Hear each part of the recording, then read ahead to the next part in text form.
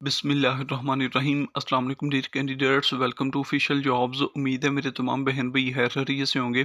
Higher education commission HEC की जानब से बहुत ही ज़बरदस्त जॉब्स का ऐलान कर दिया गया है। इसमें ऑल ओवर पाकिस्तान से अप्लाई किया जाएगा। इसमें मेल एंड फीमेल दोनों अप्लाई कर सकेंगे, वो भी ऑल ओवर पाकिस्तान से। इसमें जो तलीमी काबिलियत है, इसमें primary middle matric intermediate graduation और मास्टर्स तक वाले इसमें अप्लाई कर सकेंगे। इसमें किन पोस्टों की अनाउंसमेंट की गई है? एलिजिबिलिटी कंडीशन क्या रखी गई हैं? कैसे अप्लाई किया जाएगा? कंप्लीट डिटेल्स शेयर करूँगा, इसलिए फ्रेंड्स आपने कंप्लीट वीडियो वॉच करनी है, ताकि इसके रिलेटेड मुकम्मल तफसीत आप लोगों के साथ शेयर की जा सकें।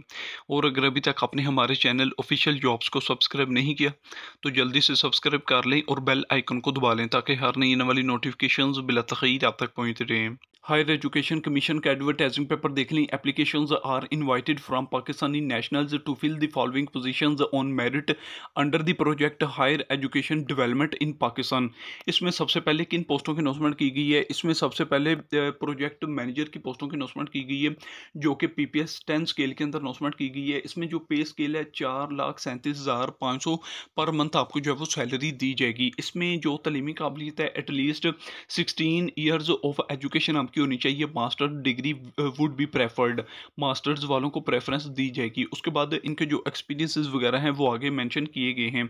उसके बाद डाई प्रोग्राम स्पेशलिस्ट की पोस्टों की अनाउंसमेंट की गई है, जो कि P P S ten scale के अंदर अनाउंसमेंट की गई है।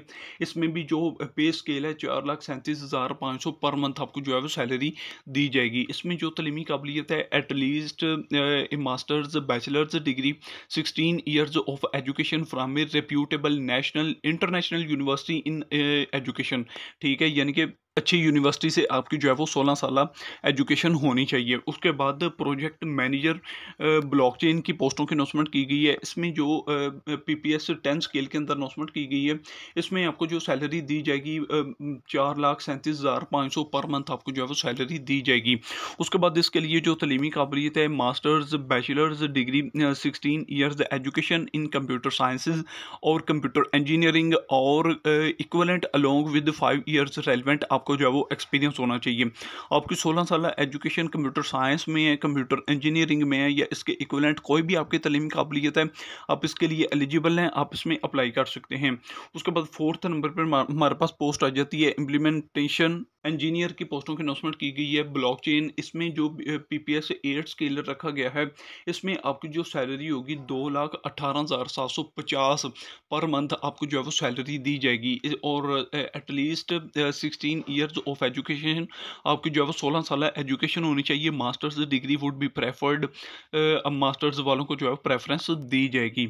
उसके बाद हमारे पास पोस्ट आ जाती है। ऑफ़िस मैनेजर की पोस्टों की अनाउंसमेंट की, की गई है P P S seven scale के अंदर।